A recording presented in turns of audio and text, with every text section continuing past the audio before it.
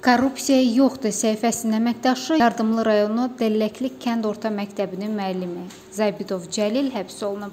Mayın 21-də Yardımlı rayon məhkəməsində onu Cinayət Məcəlləsinin 221.1-ci maddəsi ilə təqsirli bilib 5 ay həbsə məhkum ediblər.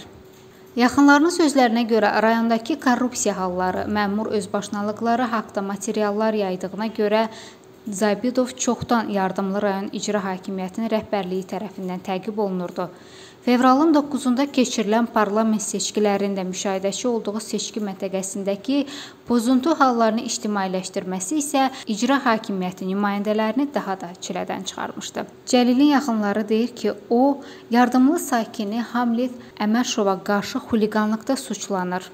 Ancaq Zabidov yaydığı tənqidi materiallara görə rayon rəhbərliyinin sifarişi ilə cəzalandırılıb.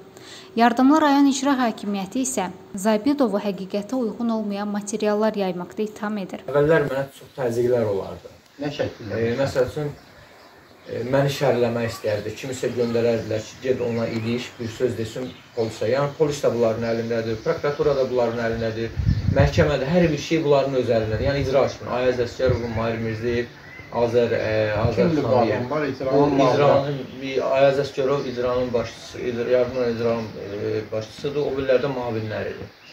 Yəni bunlar tərəfindən mənə təzyiqlər oldu. Bu son vaxtlardan bax indi görürlər yox, mən təzyiqlərə yəni polislə, məhkəmə ilə bunlarla məni qorxuda bilmədilər. İndi keçiblər təkliflərlə. Yəni mən təklif gəlir ki, mənə qal qırağa, nə istəyirsən verək sənə, ya məsəl üçün pul verək, torpaq verək, hər hansı bir şeylə məni avladıb, şirinləşdirib bu yoldan çəkmək istəyirlər. Mən isə bu yolla axıra qədər gedəcəm. Bu O da məlum olub ki, icra başçısının müavini sosial-iqtisadi inkişafın təhlili və proqnozlaşdırılması şöbəsinin müdiri Mahir Mirzəyev Cəlil Zabidovu məhkəməyə verib. Səbəb isə Heydər Əliyev fondu tərəfindən rayondakı 2 saylı körpələr evi uşaq bağçasına ayrılmış yardımın yeyintisi barədə materiallardır. İcra başçısının müavini bunun böhtan olduğunu bildirir və Zabidovdan 15 min manat kompensasiya tələb edir. İcra başçısının birinci müavini Azər Xamiyev isə şərəf və ləyaqətin, işgüzar nüfuzun müdafiəsi ilə bağlı eyni məbləğdə təzminat tələbi ilə məhkəmədə iddia qaldırıb. Bu iddia üzrə məhkəmənin hazırlıq iclası mayın 29-na təyin edilib.